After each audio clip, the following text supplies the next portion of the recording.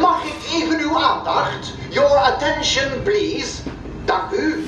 Die twee lieftallige dames daar in het midden van het paviljoen. Ja, ja, dames, jullie bedoel ik. Heel goed.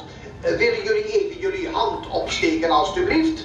Doe maar jij even de hand in de lucht. Juist, ja. Dames en heren, neemt u allen alstublieft een voorbeeld aan deze twee jonge dames. Zij zien er op en top verzorgd uit en zo hoort het vanzelfsprekend ook tijdens een officiële audiëntie. Ladies and gentlemen, please follow the example these two young ladies give with their splendid appearances. This is the way you should look during an official royal audience. Chapeau, dames. Complimenten.